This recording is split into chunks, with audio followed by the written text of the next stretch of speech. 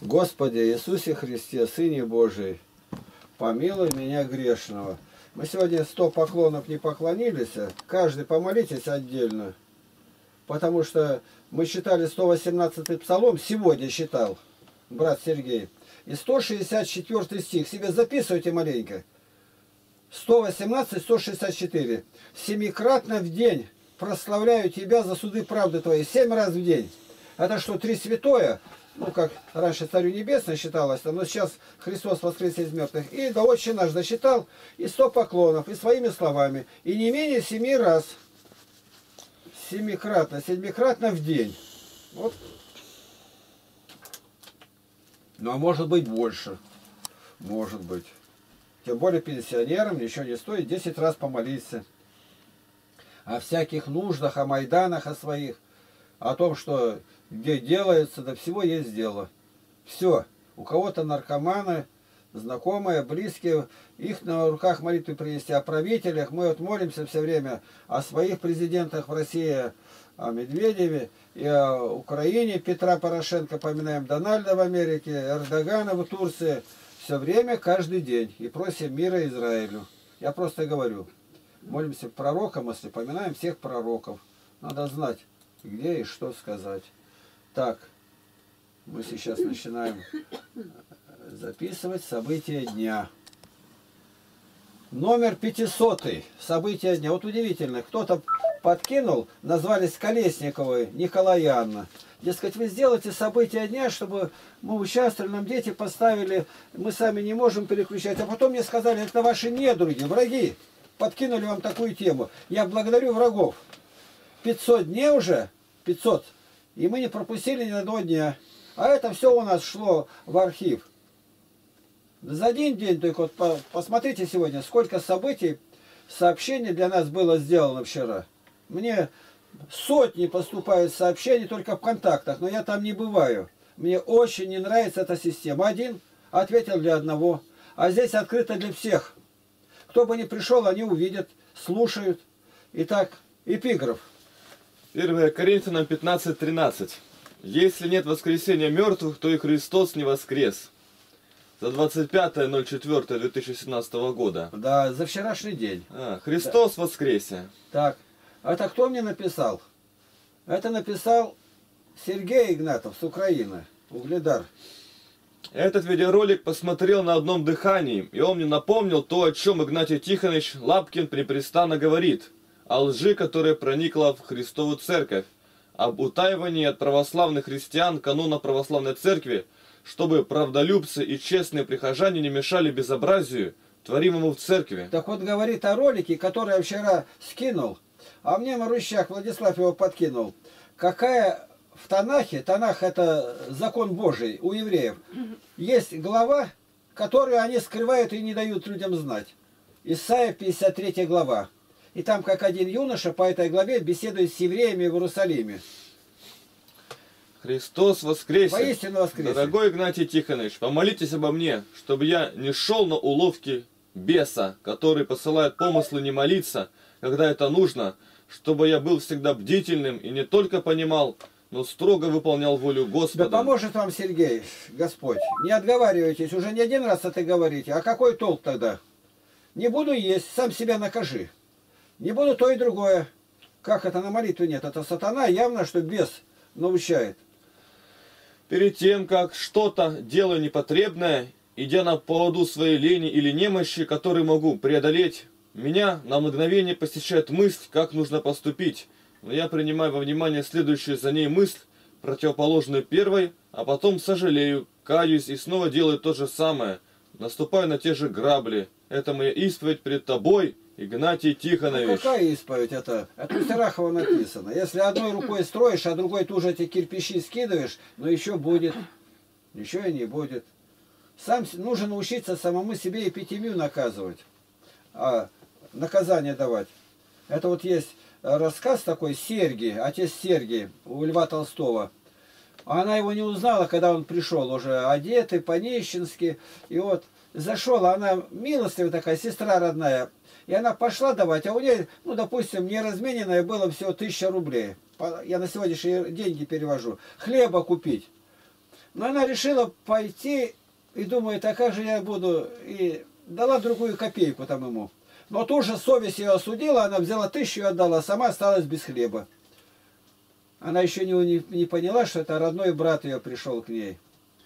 Вот так нужно себя улавливать. Уловил и накажи, соответственно этому. Как это так? Вы же взрослый человек, тем более юрист. Вы просто должны это знать. Я каюсь вот перед Богом. Тоже говорю. Я сижу, считаю книжку. Солнышко светит. Учусь уже в десятом классе. Около дома. А дальше, туда дальше, в огород. Ну, какой огород? Длина-то огорода там. Я вижу, там был ток, где обрабатывали зерно, и давали отходы для своих. И у меня отец инвалид войны без руки, без левой был. И мама. Они на санках, а весна, тает снег. Они везут там несколько, ну сколько, мешок там или два. На санях, санки большие были.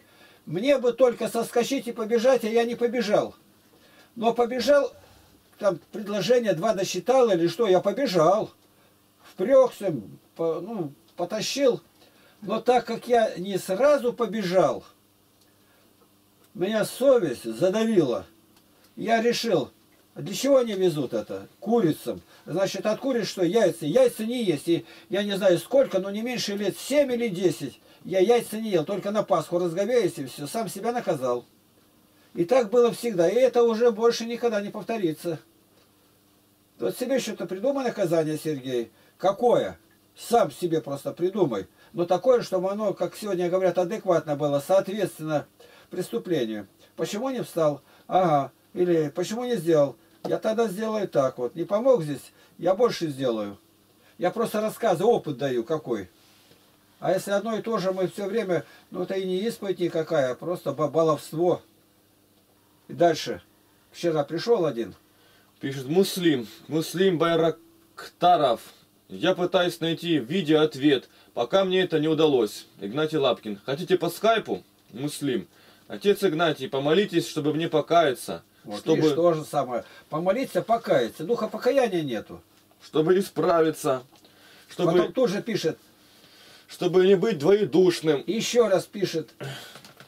Но что от меня требуется, то сделать. И опять пишет. Сразу тут же. Видно 18, 6. То есть пик, пик, пик. Этого нельзя делать если что-то пишет мне в скайпе, то один раз только в неделю разрешается в Word написать. Один раз.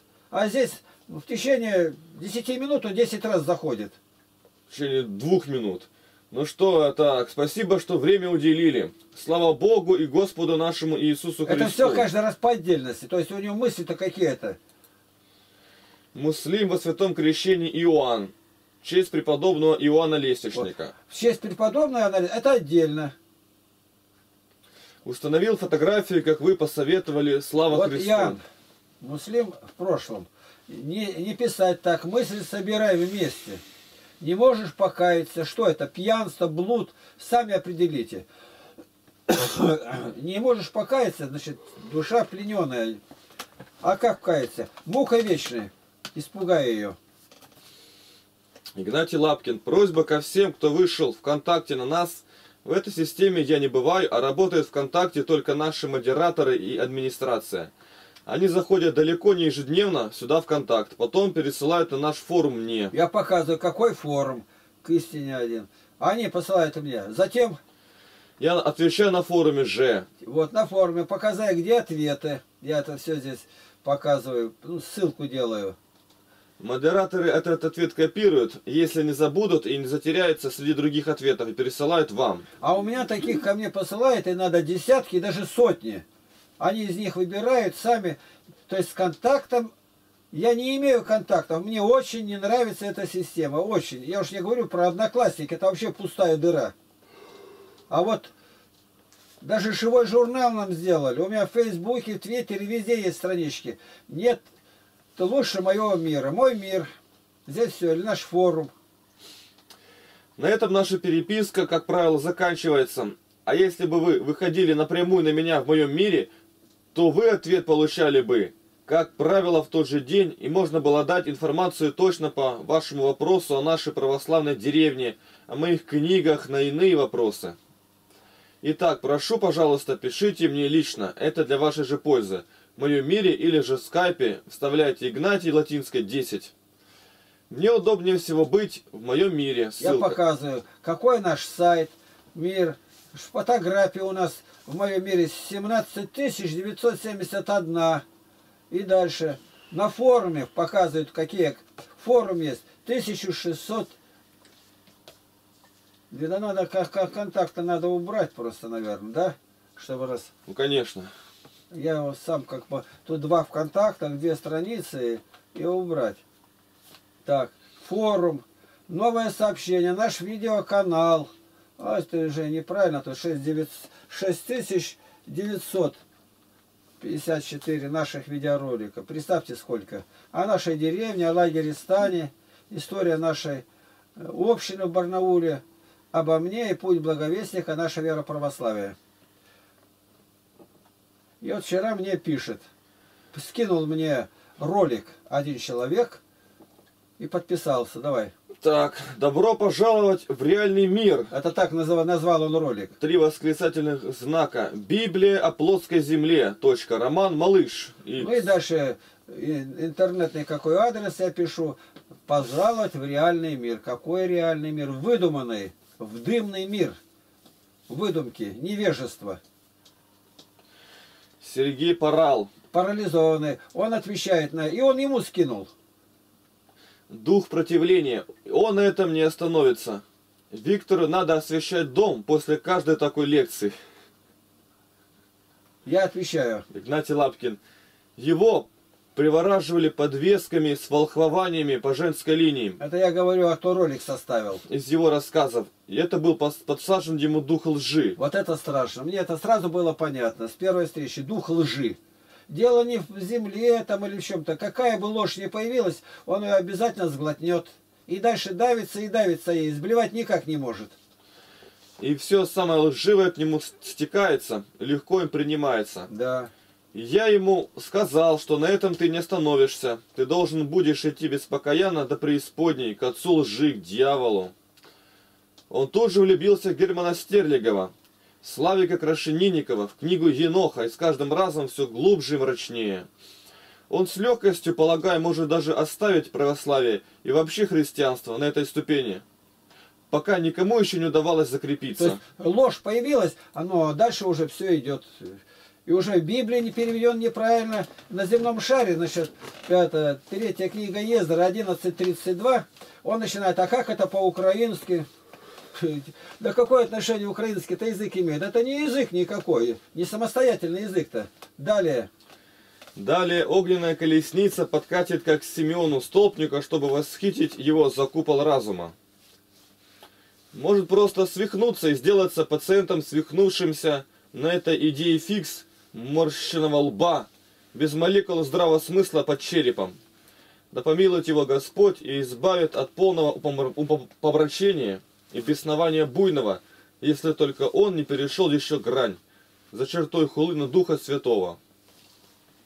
Сергей, Сергей парализованный говорит. Он, Я с- говорю, откуда ты-то узнал про это? Он говорит, он сам скинул мне ссылку. Мерзкий дух. мерзкий дух это. Он отвечает. Я отвечаю, Интересно, что слово шар он обыгрывает на украинский язык. Да и самостоятельный ли это язык? Это самостоятельный.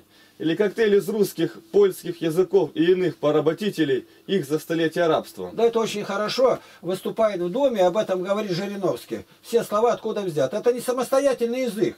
Почему называется Великороссия? Э, Украина это на окраине России только живет. Сейчас перечисляет города и Одесса, и все, все это образовано русскими были. Русскими царями. Мы на днях только считали об этом. Ладно, не будем сейчас это вставать. Ну не, не надо говорить, давай. Да. А птицы там на Северном полюсе или Ледяном, где купол опирается во льды. Он показывает птицы летят, летают. Птицы летят по тверди небесной. Твердью никак не хочет признать, что по воздуху летят рядом-то. А он говорит, там полетят птицы. Какие птицы? Там мертвая зона. На севере-то, где купол-то со- соприкасается.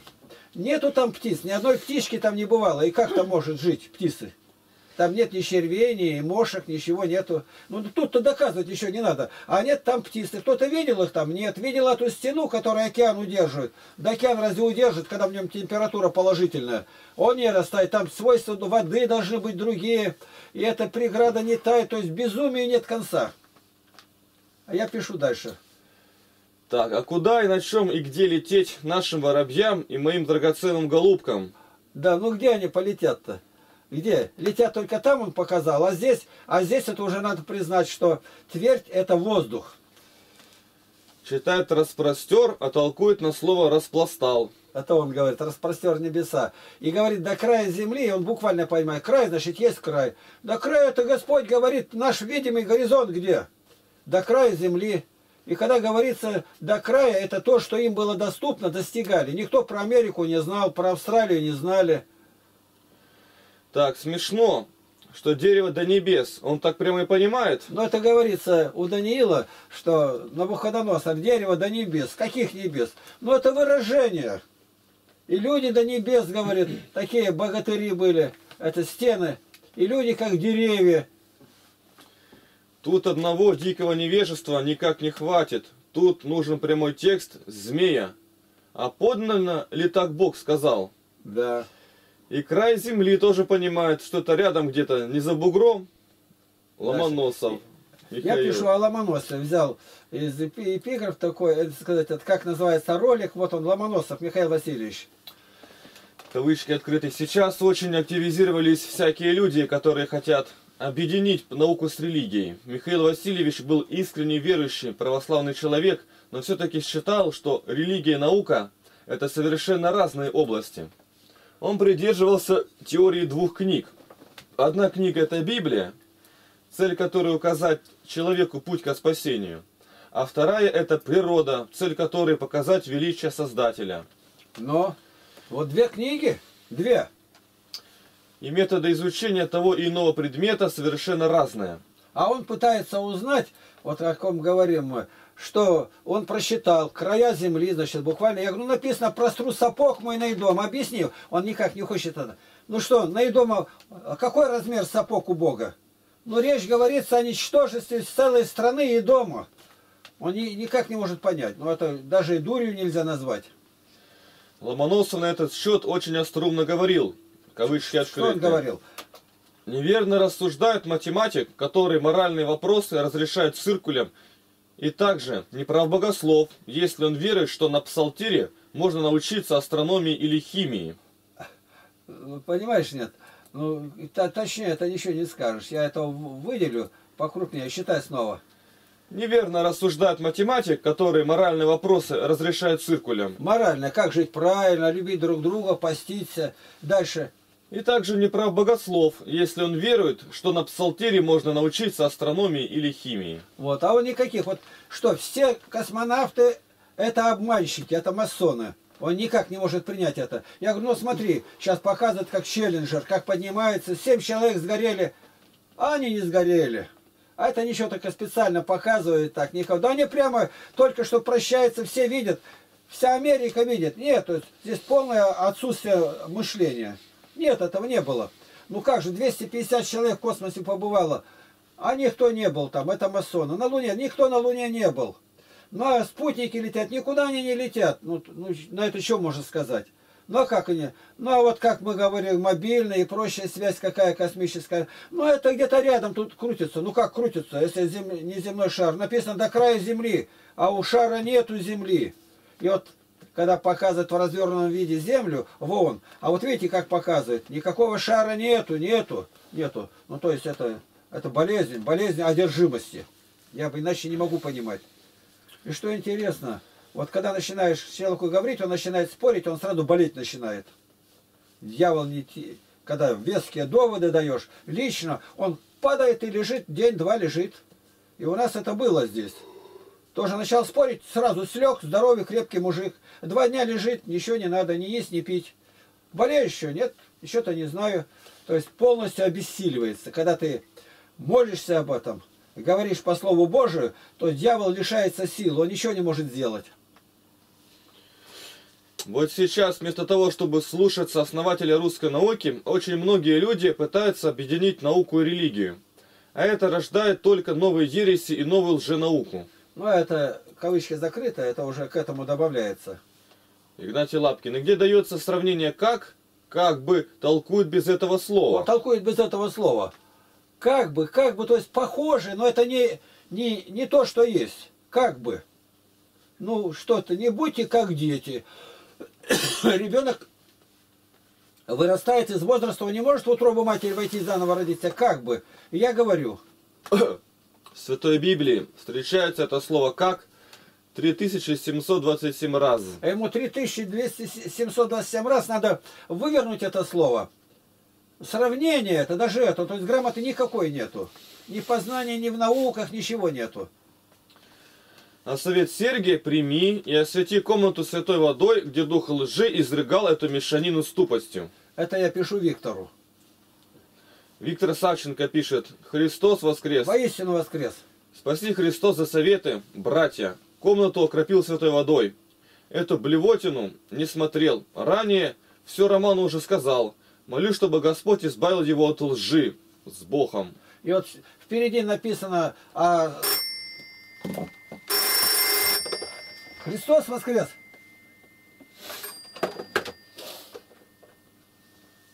Запрещенная глава в Танахе. По-русски себе запишите. Кто слушать будет. Запрещенная глава в Танахе. Зарядите в Ютубе. Но мы показываем, как в Ютубе ее ссылка какая. И впереди там Сергей говорит, это именно про этот ролик. Про какой ролик? Что я у него увидел, что они скрывают. У нас покрывают правила канона. Юрий Соболев. Мир вам, Игнатий Тихонович. Просматривая сегодняшний выпуск событий дня, в котором был ролик о вас и секте Игла, вспомнилась Там реакция Артур один пишет, да. Анны Ахматовой на арест и суд над Бродским. Кто он там? Кавычки открыты. Такое ощущение, что он специально нанял кого-то, чтобы ему сделали классическую для русского поэта биографию. Это так обо мне. То, то есть напали где-то. У меня тут есть ролик такой один. Я договорился с людьми, я говорю, вы сейчас нападите на меня, там назовите еретиком и как. И это все прошло, никто даже ничего не заметил, опыта нету. Ролик такой. Я специально созвонился с этими людьми и говорю, вы сейчас на меня выйдете и нападайте на меня по, всем, по всем статьям, как надо-то. Ну и враги как ухватились за этот ролик. Или там один э, пьяный заходит, но я ему ни слова не, не, говорю, не говорю просто где-то. И, а эти, которые нападают, то ну, они никакие. Вот он испугался, не отвечает. Ну по договоренности. И он говорит, я еще попало, болтал, там стоял, я, говорит, полный стакан водки только хлобыснул, говорит. И, ну я же вижу по глазам его, я ему ничего не отвечаю. Другой на меня сидит здесь, говорит, вот здесь рядом-то. На каждое слово у него ответ. Я решил ничего не отвечать. Мы сидим рядом. И не, не приятели, которые, у них ума ничего нет. Они не видят, что это вот это специальный заказ. Нанял кого-то, чтобы ему сделали классическую для русского поэта биографию. Дальше. Так и про этот И ролик. он говорит, да благословит Бог автора всего видео. А Артур, там пишет, он Артур какой? Алехин. Да, Алехин. И он так назвал предводителя секты. Ну, тут недавно было это. И доказывает, никакой секты нету, это все обман. Дальше. некий ворох мыслей в голове, который иногда вздымается от различных рассуждений, ваших проповедей, чтения слова, а иногда от того же самого успокаивается. Вот сейчас первая фаза. Об этом в самых разных ракурсах и вам ставил вопросы и просто излагал свои рассуждения. И себе, и близким братьям. Все это можно не пытаться выразить в одно предложение, но прямо привести в евангельских глаголах. Не хочу оставить вас, братья, в неведении и о дарах духовных. 1 Коринфянам 12.1. Достигайте любви, ревнуйте о дарах духовных. 1 Коринфянам 14.1. Но каждому дается проявление духа на пользу. Одному дается духом слово мудрости, другому слово знания тем же духом, иному вера тем же духом, иному дары исцелений тем же духом, иному чудотворение, иному пророчество, иному развлечение духов, иному разные языки, иному истолкование языков. Все же сие производит один и тот же дух, разделяя каждому особо, как, ему угодно. 1 Коринфянам 12, 7 по 11. «И будет последние дни, говорит Бог, излию духа моего на всякую плоть, и будут пророчествовать сыны ваши и дочери ваши, и юноши ваши будут видеть видения, и старцы ваши сновидениями разумляемы будут, и на рабов моих в те дни излию от духа моего, и будут пророчествовать». Иоиля 2.28, 32, Деяние 2, 17, 18. И иных Бог поставил церкви, во-первых, апостолами, во-вторых, пророками, в-третьих, учителями. Далее иным дал силы чудодейственные, также дары исцелений, вспоможения, управления, разные языки. 1 Коринфянам 12.28. Дары различные, но и Дух один и тот же. И служения различны, а Господь один и тот же. И действия различные, а Бог один и тот же, производящий все во всех. Но каждому дается проявление Духа на пользу. 1 Коринфянам 12, 7. И вот еще к тому же. Возрастайте в благодати и познании Господа нашего и Спасителя Иисуса Христа. 2 Петра 3,18. Всегда по справедливости мы должны благодарить Бога за вас, братья, потому что возрастает вера ваша, и умножается любовь каждого друг к другу между всеми вами. 2 Фессалоникийцам 1.3. К совершению святых на дело служения для созидания тела Христова. Доколе все придем в единство веры и познания Сына Божия, в мужа совершенного, в меру полного возраста Христова. Ефесянам 4, 12, 13. Братья, не будьте дети умом, на злое будьте младенцы, а по уму будьте совершеннолетние. 1 Коринфянам 14, 20. Впрочем, братья, радуйтесь, усовершайтесь. 1 Коринфянам 13, 11. Твердая же пища свойственна совершенным. Евреям 5, 14.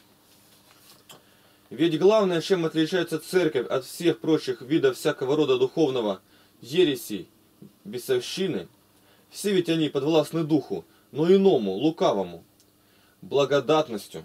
В одной из своих лекций отец Геннадий Фаст сказал, почему даже многие неевангельские, неевангельское, мощи, духовные практики сихазма, юродства находят приют в церкви, а в иных церквях, собраниях, ежели с маленькой буквы дословно – с ума сходят от этого, потому что церкви все священо Богом, так сказал батюшка. Это если углубиться в нее, очень интересная мысль. Чему благодаря апостолу обращали тысячи людей за день? Благодати, облеченные в силу Божию, а если не стяжал Дух Святой, то где взять силу? Собственной надорвешься. Собственной Надорвешься. надорвешься. Тире стоит. Освоить методу прозелитизма несложно – Ходи да говори, но это все симулякр. Это дом на песке в итоге. Вот, кстати, почему нет святых именно так с большой буквы у еретиков. Потому что просто нет. А у нас, православных, есть. В чем святость не по глаголу Евангелия, отождествляющему с верными? Стяжание духа, в изменении себя, в явлении Бога миру, ведь именно это и изображает иконография через человека – Передать информацию, засвидетельствовать – это обязанность. Это, так сказать, первый класс, само собой. А большинство и этого не могут, увы. Слово Божие не знают. А дальше? Возрастать возраст Христов, возрастать в вере, в духе. Вот это протестанты не знают, они совершенствуют начальные азы свидетельства. А так, чтобы в космическое устроение себя, в соответствии с замыслом Божьим, этого нет. Да и у нас ныне. А хотя реальность, а главное методика этого пути, лестница.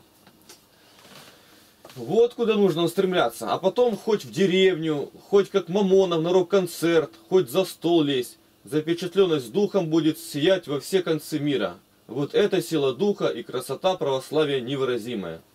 Вот взять вас, Игнатий Тихонович, ведь вот, ведь вот оно, наглядное возрастание возраст Христов ревность о дарах.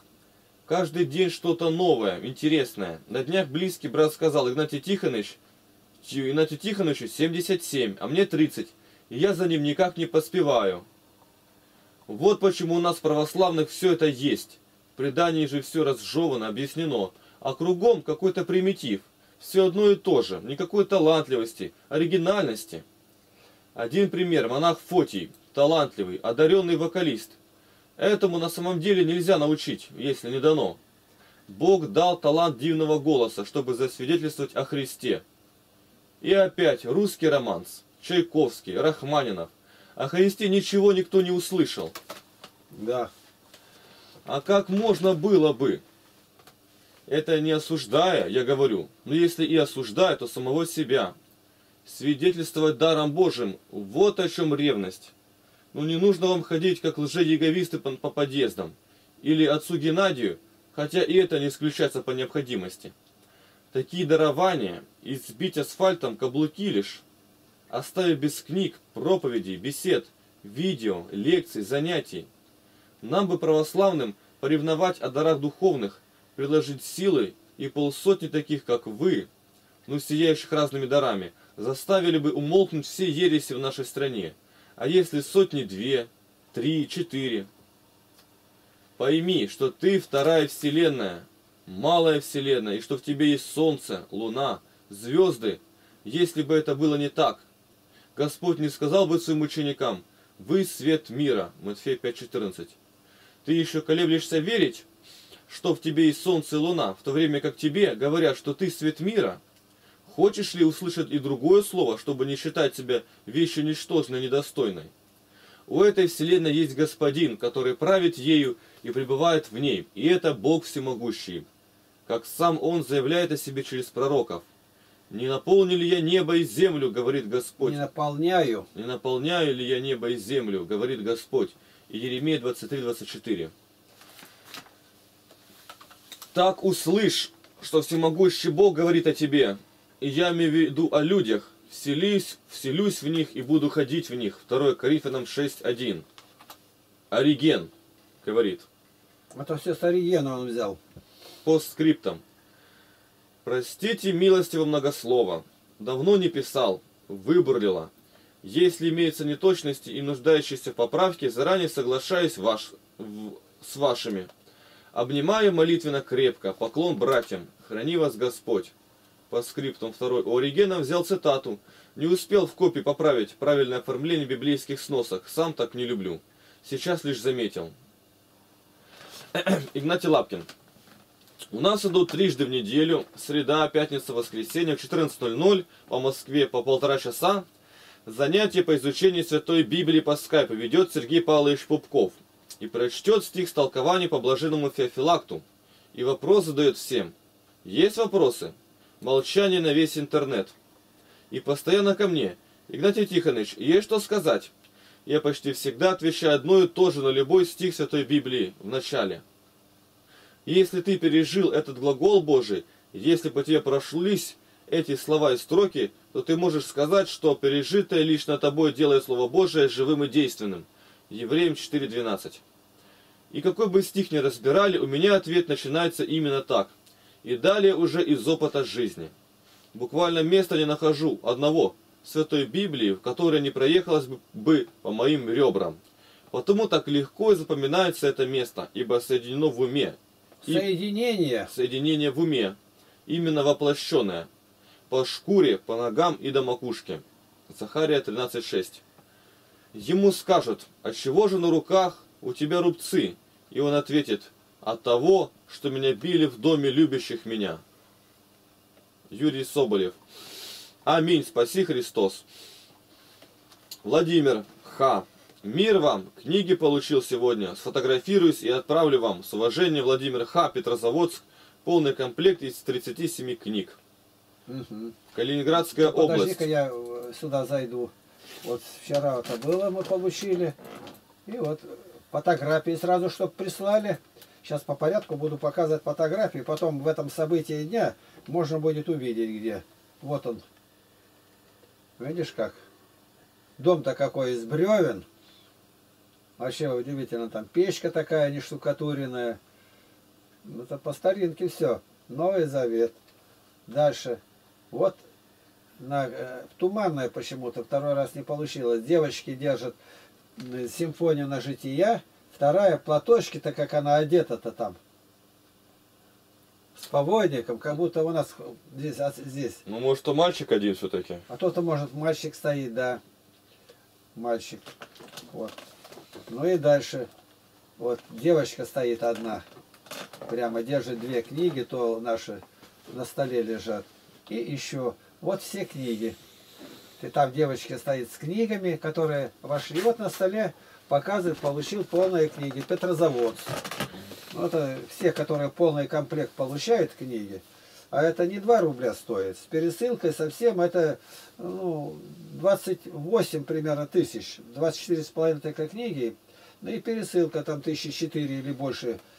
Если за границу, там еще больше стоит. И однако люди выписывают. Но книг-то нету, кончаются уже.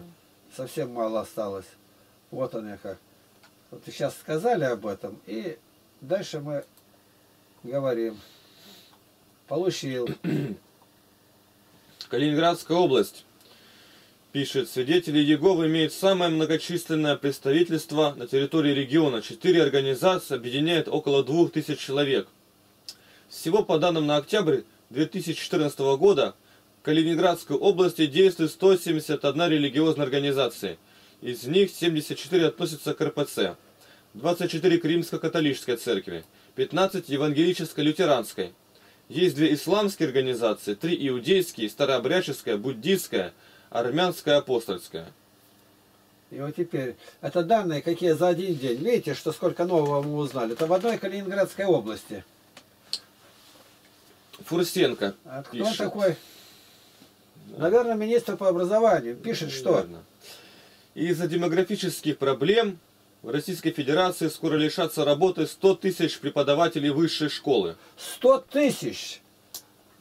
Не студентов меньше будет, а учителей из институтов, университетов уволят. 100 тысяч. И когда? Да может быть в этом году уже. И вот показывают, сидят и по одному человеку, даже не на каждом ряду. Видишь, пожалуйста. В ближайшие годы около 100 тысяч преподавателей системы российского высшего образования окажутся без работы из-за надвигающегося демографического кризиса, заявляет министр образования и науки Российской Федерации Андрей Фурсенко.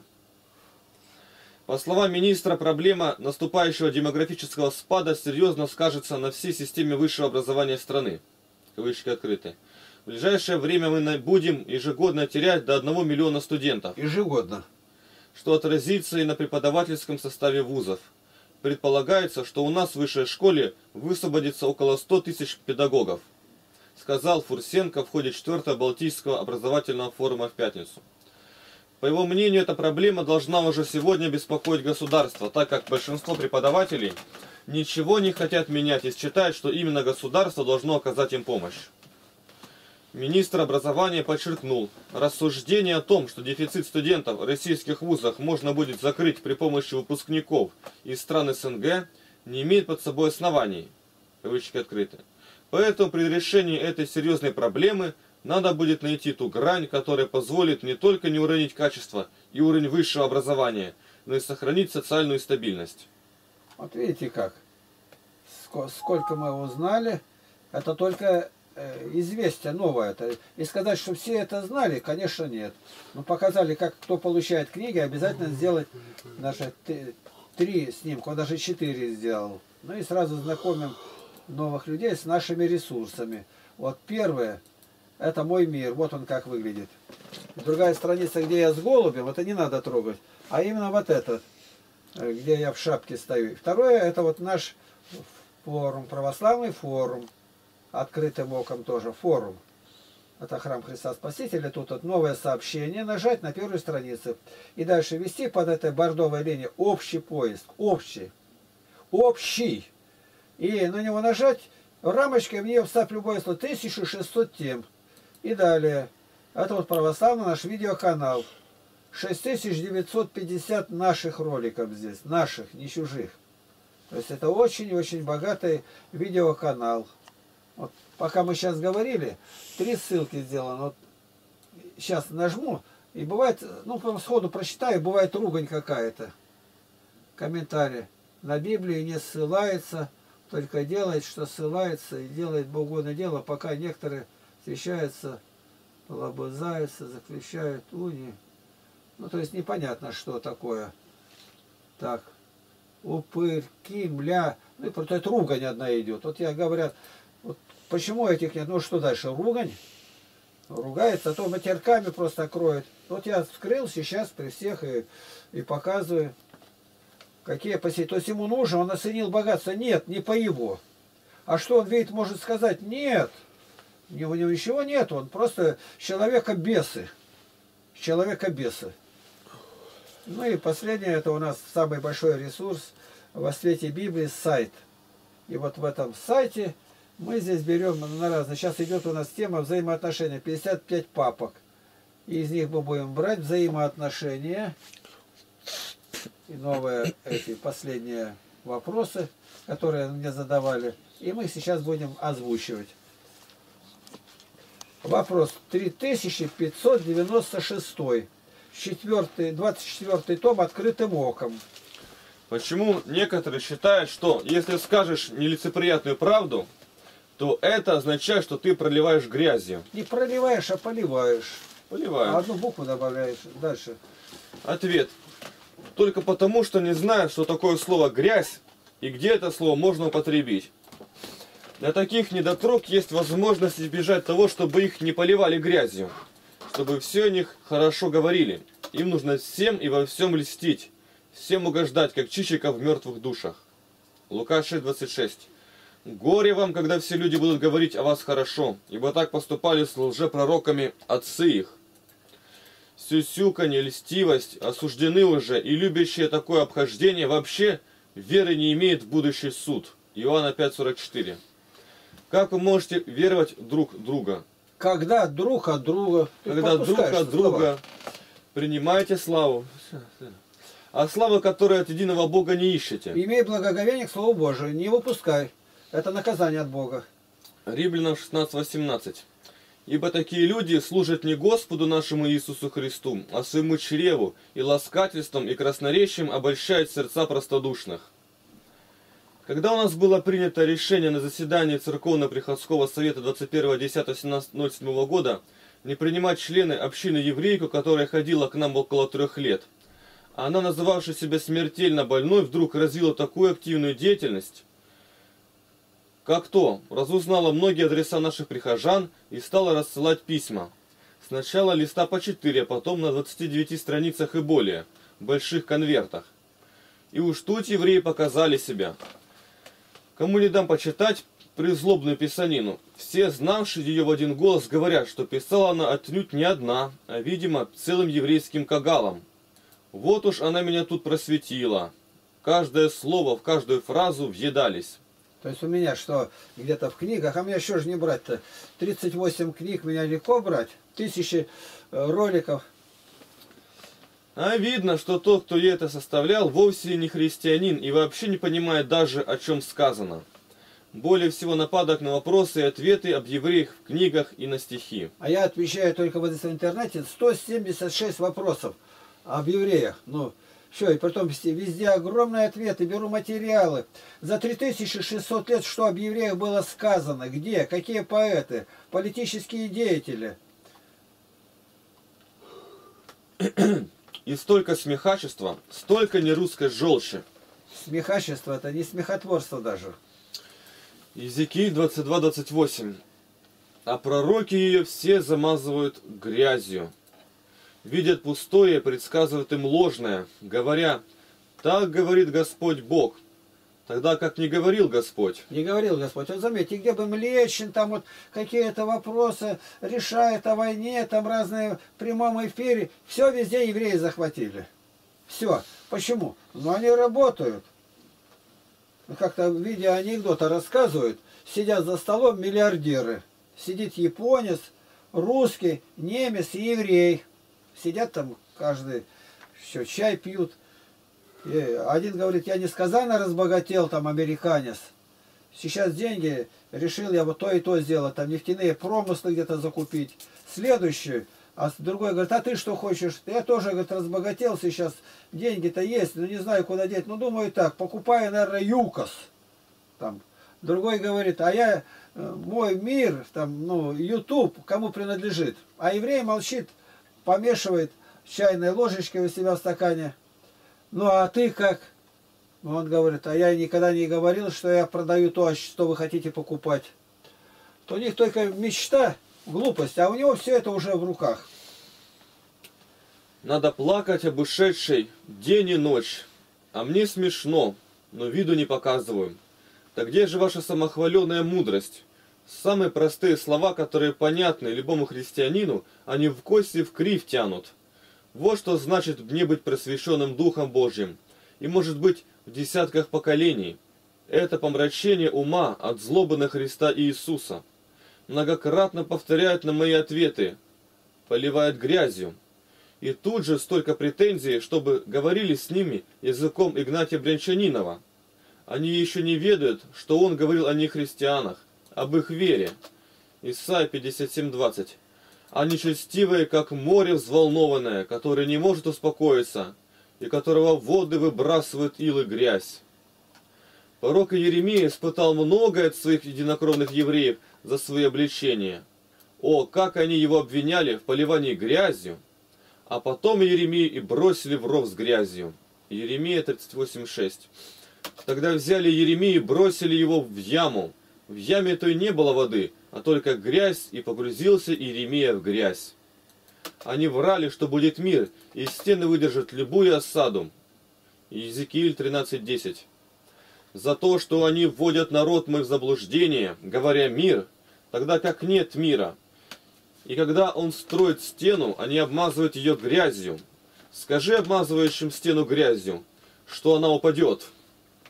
Римлянам 16.18 Ибо такие люди служат не Господу нашему Иисусу Христу, а своему чреву, и ласкательством и красноречием обольщают сердца простодушных.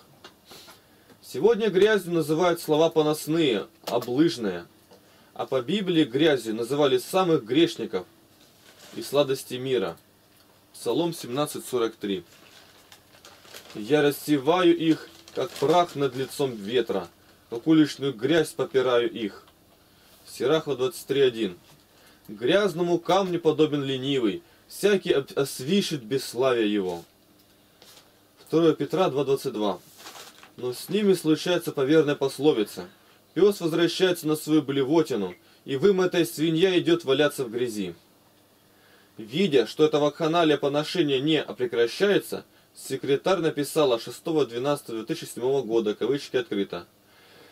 Фаина Соломоновна, довожу до вашего сведения, что письма, разосланные, разосланные вами членам крестовоздвиженской общины города Барнаула, получены, обсуждены и приняты во внимание.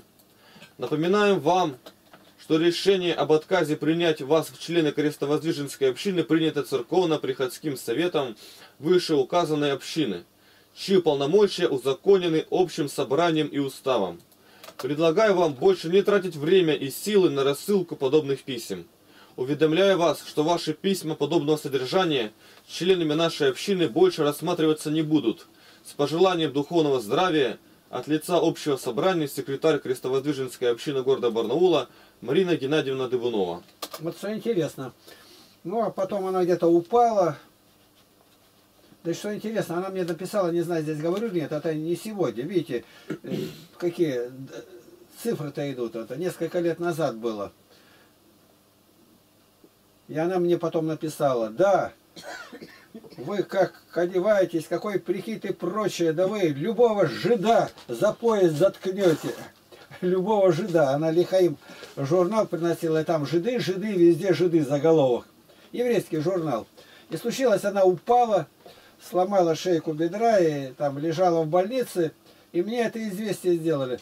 Ну, мы пошли туда, я там заснял, у меня ролик даже есть. Так она до того удивилась, что ее посетили. Я говорю, неужели мы на вас будем что-то иметь?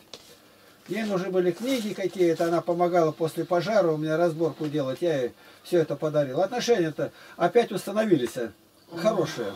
Я каждый день за нее молюсь. Каждый день. К евреям же Бог обращается с самыми грозными предупреждениями, но они не внемлют. И вот на последние времена Бог готовит им на заклание.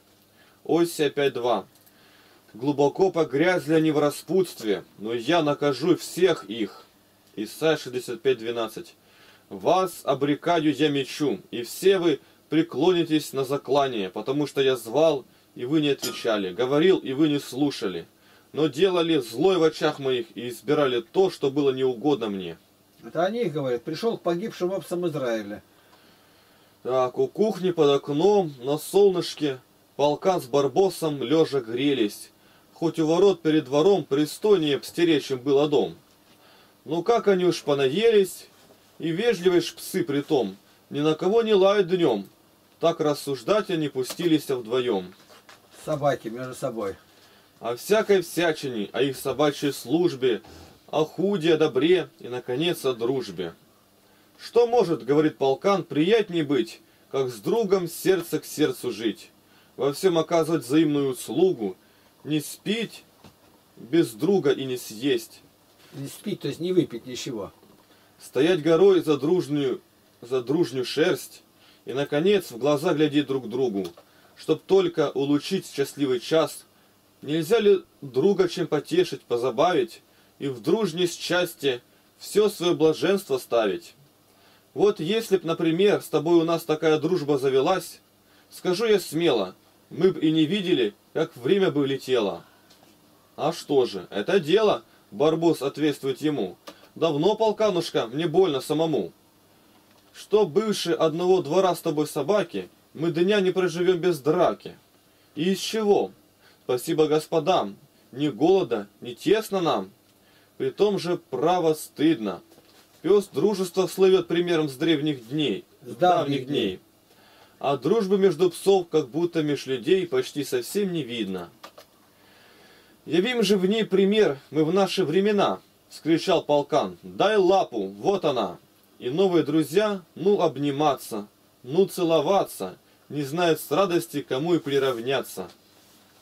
Арест мой, мой Пилат, прочь свары, зависть, злость. Тут повар на беду из кухни кинул кость. Вот новые друзья к ней в запуске несутся. Где делся и совет, и лад? С Пиладом и арест грызутся, лишь только клочья вверх летят. На силу, наконец, их разлили водою. Ну вот теперь все хорошее, нового президента избрали где-то что-то, и уже все не так, и уже все. Свет полон дружбою такую. Про нынешних друзей нельзя молвить не греша, что в дружбе все они едва ли не одинаки. Послушать, кажется, одна у них душа, а только кинем кость, так что твои собаки. То из-за Крыма, то из-за чего, и везде будут бороться, биться и будут помирать через это. Ну, я, к примеру, Крылов говорю. Андрей, 1815 год. Вот видите как. Я считаю, это самый умный был поэт. Не Пушкин, не, не Лермонтов, а Крылов Иван Андреевич. Дальше. Вопрос 4009, 29 том открытым оком. Верующие уверены, что умершие все живы. Если бы не согласные с принятием декларации митрополита Сергия пришли в Синод Московской Патриархии, то послушались бы нынешние епископы и патриарх этих авторитетов, которые уже и канонизированы некоторые, и раскаялись ли бы за предательство. Это Строгородский Сергей. Сергий написал там в 29 году, в 27 декларацию. Дальше. Ответ. Совсем даже не обязательно им приходить. Достаточно ознакомиться с их мыслями. Если бы Дух Святой был в Синоде с этими бессовестными, то они бы в пепле и прахе вопили на всех перекрестках, чтобы люди молились за них. А они продолжают варганить свою тризну над Россией церковью, и поныне. Ты загляни в их глаза, в их пресыщенность, и таких вопросов больше не возникнет. Когда переходит некую грань, то покаяние уже невозможно, почти как и у демонов, потому что, кавычка, декларация Строгородского есть плод лжи, и отец ее дьявол. Из киевского воззвания, составленного священномучеником епископом Дамаскиным Цедриком, Черниговско-Глуховским, кавычки открыты. Отдельными группами духовенства в отдельных епархиях делались попытки издания деклараций, приближающихся по духу к тому, что мы видим в обращении, то есть декларации митрополита Сергия. Но эти попытки вызывали всегда дружное негодование и в среде епископата, и в среде влиятельнейшего духовенства. Они считались равносильными переходу в обновленчество и быстро ликвидировались позором для тех, кто их предпринимал. Вступительная статья, предваряющая в известиях декларацию, говорит о вынужденном, в кавычках, перекрещивании, Перекрашивание. пере- а, перекрашивании долго упорствовавших тихоновцев в советские цвета. Она противополагает им дальновидную часть духовенства, еще в 1918 году вступившую на этот путь, то есть обновленцев и живоцерковников. Статья эта таким образом определенно считает что путь митрополита Сергия проторенной дорогой обновленчества. И кажется нам, что не мы, а митрополит Сергий и же с ним пленены страшной мечтой, что можно строить церковь на человекоугодничестве и неправде. Мы же утверждаем, что ложь рождает только ложь, и не может она быть фундаментом церкви. У нас перед глазами позорный путь церкви лукавнующих, обновленчества. И этот же позор постепенного погружения в зас- в засасывающее болото все более страшных компромиссов и отступничества. Этот ужас полного нравственного растления неизбежно ждет церковное общество, если оно пойдет по пути, намеченному деян- деяниями Синода. Кавычки открыты. И не только в сердце интеллигенции вызовет декларация мучительный соблазн. Тысячеустая молва пронесет страшное слово в самую толщу народа.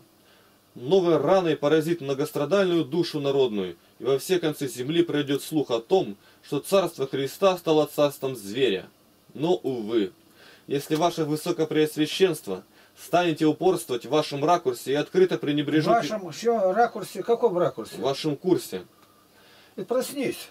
и открыто пренебрежете голосом церкви, то она, продолжая свой крестный путь, окажется, Откажется. откажется от вас, как соучастника с ее распинателями. Катакобный епископ А, кавычки открыты. Нужно знать, что сергианство – это второе издание обновленчества, когда русский народ с возмущением и брезгливостью весь отошел от обновленцев, то организаторам его необходимо было заменить их чем-нибудь более приличным. Поэтому появилось сергианство в той редакции, в какой мы его наблюдаем. Человек с глубокой верой прекрасно понимает, зачем нужна служителям Московской Патриархии пышная нарушенная декоративная православность.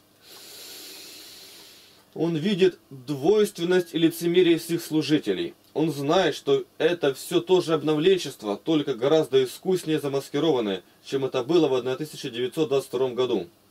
Есть искусные портные, которые могут перелицевать хитроумное старое платье наподобие нового.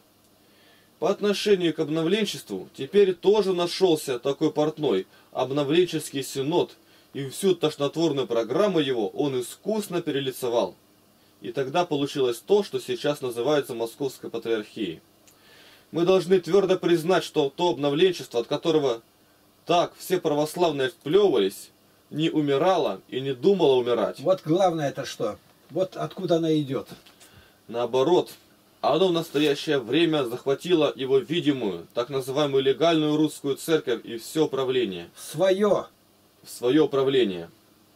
Помимо прямого и косвенного предательства всех истинных пастырей Христовых и верных сынов церкви, помимо уничтожения храмов, монашества и монастырей, обновленцы до 1922 года, а теперь и деятели Московской Патриархии, составляющие с прежними обновленцами единое неделимое тело, повинны также в сознательном отравлении духа народа нашего и в подмене законной православной иерархии ряжеными в архиереевские ризы атеистами. Теперь перед нами стоит глубокий мучительный вопрос.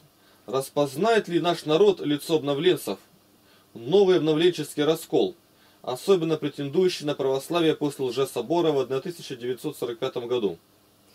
Этот новый раскол очень умно задуман и организован. Многих, не имущих духовного рассуждения, он Завлек. завлек в свои недра. Мы отказываемся от молитвенного и церковно-канонического общения с Московской Патриархией по тем же самым причинам, по каким отказались иметь такое общение с обновленцами в 1922 году. Кавычки закрыты. Из заявления Серпуховского духовенства. Кавычки открыты.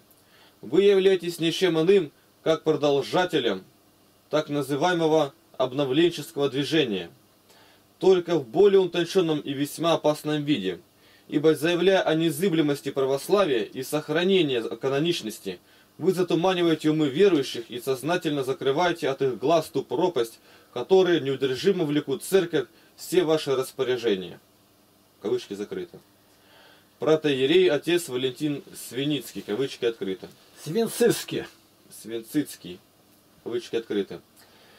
И живая церковь, захватившая власть патриарха и григорианство, захватившая власть местоблюстителя, и вы, злоупотребившие его доверием, вы все делаете одно большое антицерковное... Где большое слово? Где оно? Ты нашел его? А, одно общее. Зачем дуришь все время-то? Простите. Антицерковное обновленческое дело.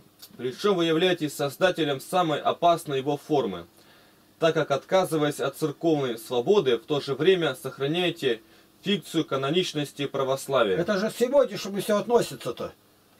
Это вот в этом вся суть-то. Это более чем нарушение отдельных канонов. Святой новомученик епископ Алексий Буй, Воронежский, кавычки открыты. Мы к великому нашему прискорбию обнаружили в последних деяниях заместителя патриаршего местоблюстителя Сергия, митрополита Нижегородского, стремительный уклон в сторону обновленчества. Обновленчество. Кавычки Окончание открыты. высчитывай. Своими противными духу православия деяниями митрополит Сергий отторгнул себя от единства со святой, соборной и апостольской церковью и утратил право предстоятельства русской церкви. Святой новомученик епископ Старобельский Павел Кратиров, кавычки открыты.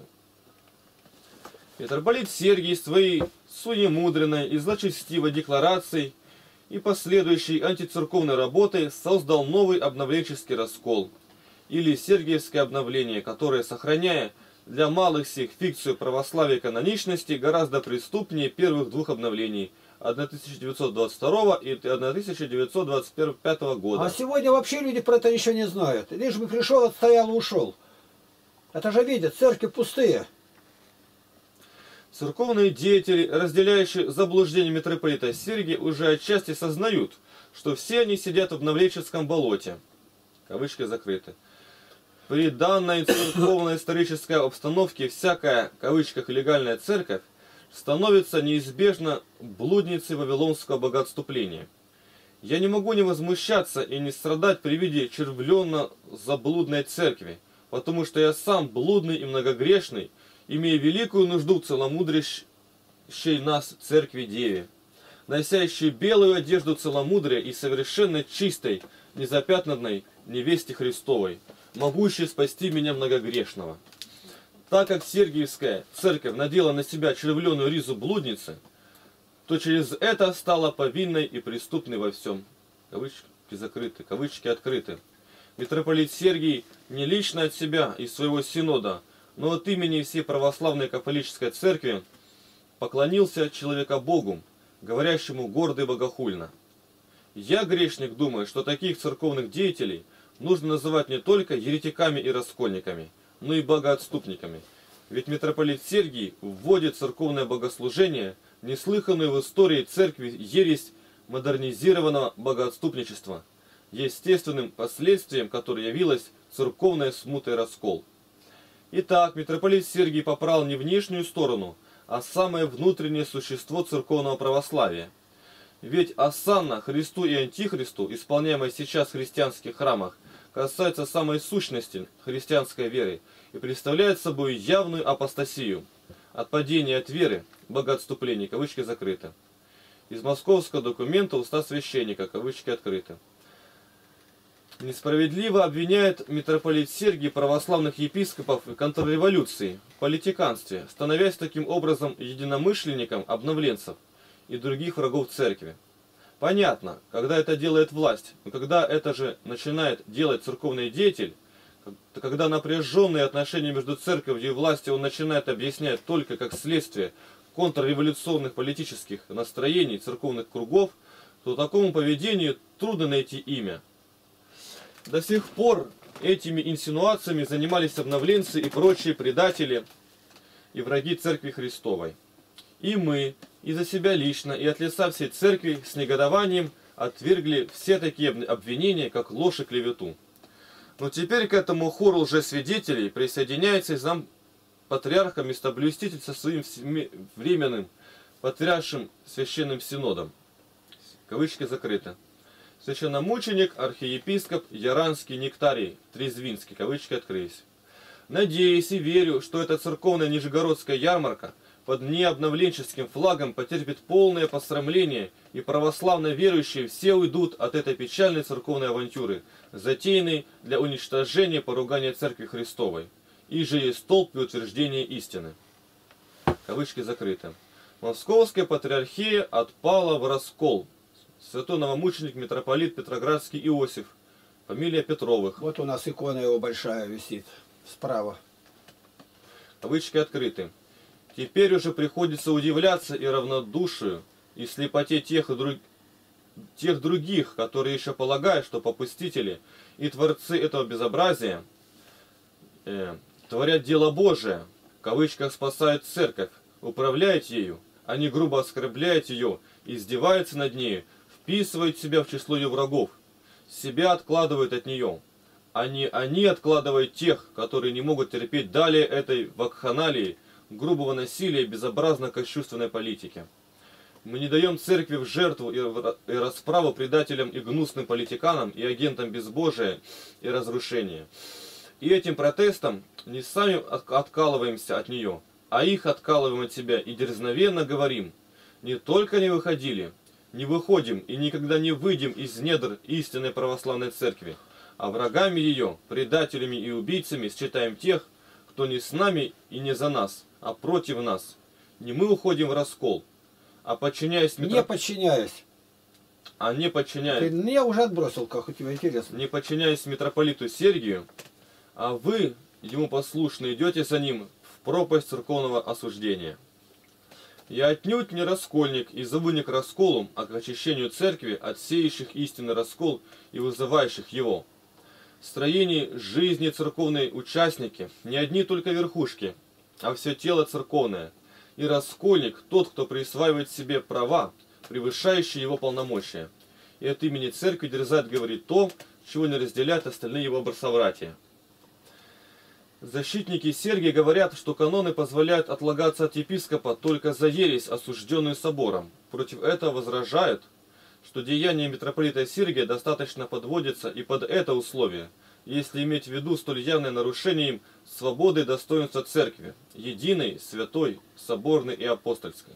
А сверх того, каноны ведь много не могли предусматривать, и можно ли спорить о том, что хуже и вреднее всякой ереси, когда вонзают нож в самое сердце церкви, ее свободу и достоинство. Достоинство. Что вреднее, еретик или убийца? Священномученик, новомученики, архиепископ Аверкий Кедров и архиепископ Пахомий, кавычки открыты, говорят, если же временный заместитель патриаршего местоблестителя будет упорствовать в своей затее и не освободить своего поста, то мы уйдем от него всею церковью. Если же митрополит Сергий, прислушает голос церкви, будет упорствовать в своей политике и претендовать на власть первого иерарха, тогда он, конечно, окажется церковным бесчинником и отщепенцем. Кавычки закрыты. А патриархия готова его канонизировать сейчас. Святоного... Предателя церкви.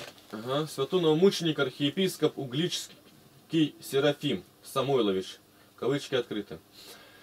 Митрополит Сергий отпал от церкви, то есть своими действиями нарушил церковные каноны. Митрополит Сергий не состоит более в лоне православной церкви. Церковь, признавшая правду за коммунизмом, не есть церковь. Организация, купленная ценой поколения, поклонения антихристу, недостойна церкви. Обвинял митрополита Сергия в тяжком грехе увлечения малодушных и немощных братьев наших в новообновленчество. Кавычки закрыты. Я дальше скажу, можете прочитать дальше, сколько епископов, мучеников за Христа. И что интересно, Иосифа, вот этого Петроградского митрополита, его канонизировала зарубежная церковь, а патриархия отказалась, потому что он обличает их. Ну разве это канонизация? Он мученик, он расстрелянный. Дальше. Святой епископ Виктор Островидов, Глазовский и Ваткинский кавычки открыты, какое теперь начинается осквернение душ нечестивыми священнослужителями, которых епископы будут рассовывать везде. И другие непризнанные верующие народом, произведут ужасное разложение веры и упадок религиозной жизни. Поистине, эти злоумышленники против церкви не от человеков, а от того, кто искренне был человекоубийца и кто жаждет вечной гибели нашей. Слугами коего и сделались новые предатели, подменив саму сущность православной Христовой Церкви. Они сделали ее не небесной, а земной, и превратили из благодатного союза политическую организацию.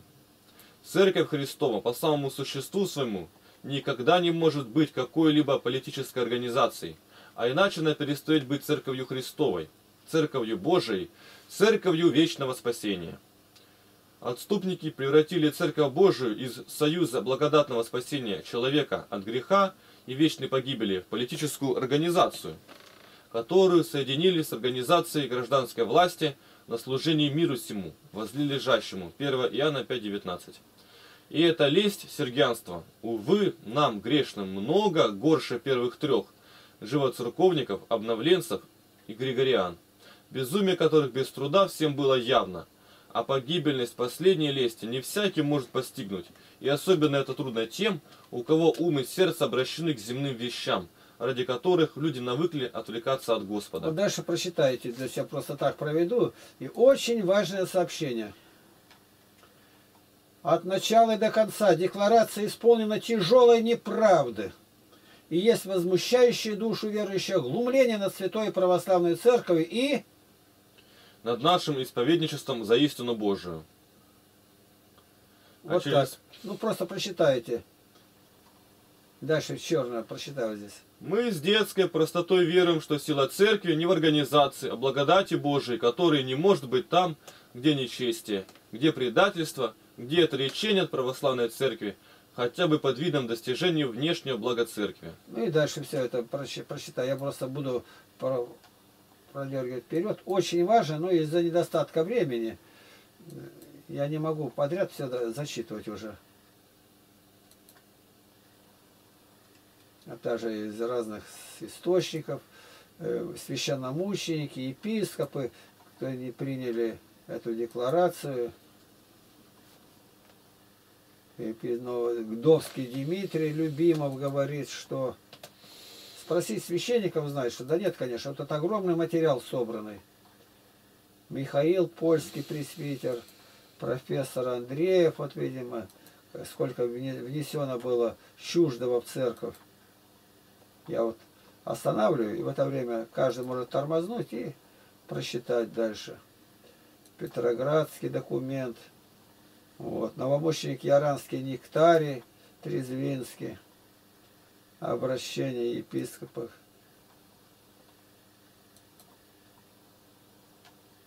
Старец Нектарий, что об этом говорит? Лаврентий. Ну и дальше места Писания, которые я беру за эпиграфа. Эпиграфа. Это Еремей 7, 13, 16, Исайя 65, 12. Давай, прочитаем. Платить ли подать кесарю и в чем? И бьется кесарь за свои объедки, налоги разорительны с мечом, жизнь отнимал у подданных нередко. Съедает армия с полицией свой куш, и без налогов сдохнут причиндалы, а мытрь тралит, сожаление чужд, заветное, чтоб все ему отдали. Вопрос не праздный задают Христу. Платили не своей, а римской власти. Налоги, как грибы, чудовищно растут, хватает большевистской пастью. Чиновники жиреют, паразиты, не надрываются в уюте в кабинетах. Бог терпит извергов, и гневом не сразить же. А чем платить? Я разве двор монетный?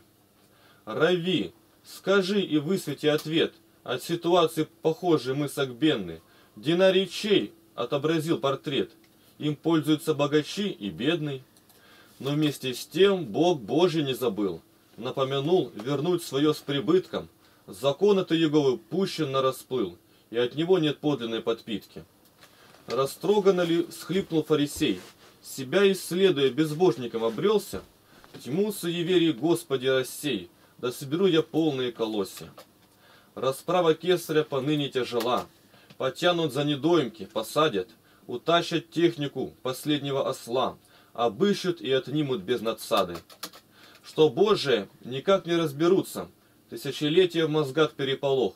Читая Библию, расслышишь глаз Иисуса, не знавший воли Божией, навеки плох. 16.09.